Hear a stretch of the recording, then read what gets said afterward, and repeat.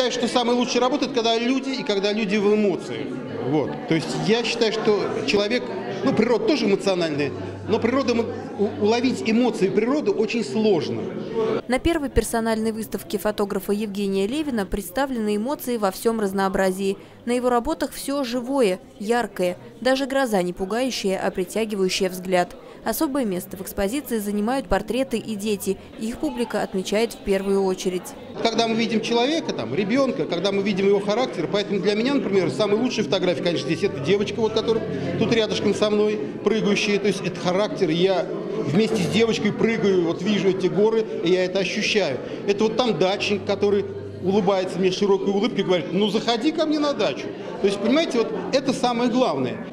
Мне интересно посмотреть на портреты, на пейзажи, конечно, которые выражены здесь на фотографиях. И хочу сказать, что я их видел на компьютере, но в выставочном зале они смотрят совершенно по-другому. Так что я очень рад, что состоялась эта персональная выставка. И хочу поздравить Женю и всех участников и помощников с этой выставкой. Балаковцы знают Евгения Левина в первую очередь по его фотографиям видов города. Мост Победы, панорамы, Волжские просторы. Многие фотографы снимают эти места, но немногим удается передавать их настроение. Безмятежное, спокойное, настраивающее на размышления. Дорасти до такой выставки – это серьезно. Ведь очень много работы, разная тематика. Мы видим прекрасную природу, мы видим фрагменты природы, а какие виды города, новый мост. Это вообще ночные снимки прекрасные. Вообще, ну я под впечатлением от этой выставки, мне нравятся его работы. Подготовка выставки – дело непростое, и Евгений признается, без помощи друзей это было бы просто невозможно. Причем они не только давали советы, но и сами участвовали в создании экспозиции. На кухне отбирали фотографии, это пойдет, это не пойдет, это в тему, это не в тему.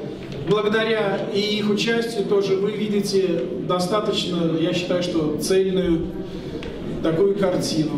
Особую атмосферу на выставке создавала фотозона, тоже дело рук друзей Евгения Левина. В общем, мы оформили в результате, сами увидели, что получилось. Я думаю, что это ну, очень хорошая изюминка э, этой выставки. В общем-то, вот эта фотозона в стиле ретро. Все фотографии мои. Завершении церемонии открытия выставки Евгений Левин предложил всем творческим балаковцам присоединиться к его проекту «Живое».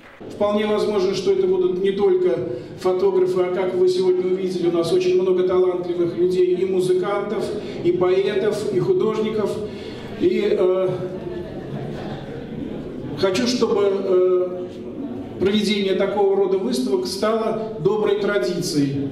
Потому что художнику нужен зритель. Без зрителя мы ничего из себя не представляем. Кстати, выставка продлится до 30 марта. Увидеть работы Евгения Левина вы сможете в городском выставочном зале.